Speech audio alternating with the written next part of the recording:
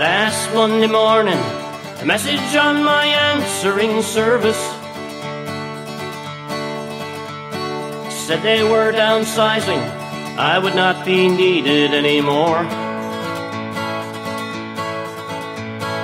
Told me to pick up my pay and everything the company owed me. Get my walking papers, then be on my way out the door. So I drove my pickup down to the spot for designated parking. Joined all my friends for the last of a thousand coffee breaks. Bid them farewell, said that I was headed for the mainland. Be working in a fortnight or so, no matter what it takes.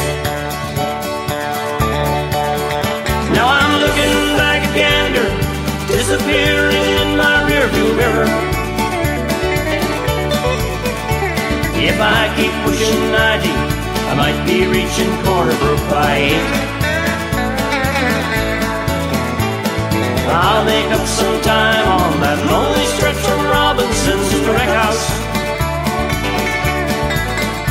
And catch the midnight ferry for a hundred miles across the Cabot Strait. I'm not exactly sure where this rambling of mine is to take me. It might be Fort McMurray, could be somewhere downtown T.O. My only chance is taking chances somewhere in the limits of this country. I'm another lone statistic headed up along the U-Haul Trail. I'm looking back at Gander, disappearing in my rearview mirror. If I keep pushing 90, I might be reaching Corner Brook by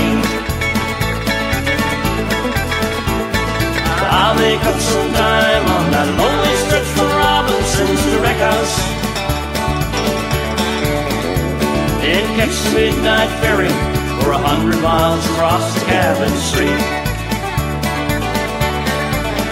Yes, I'm looking back at Gander, disappearing in my rearview mirror.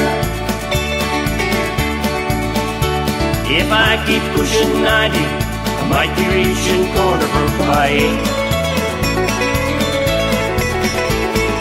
I'll make up some time on that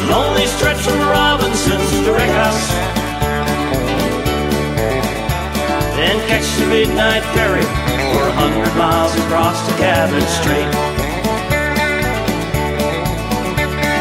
Catch the midnight ferry for a hundred miles across the Cabot Strait.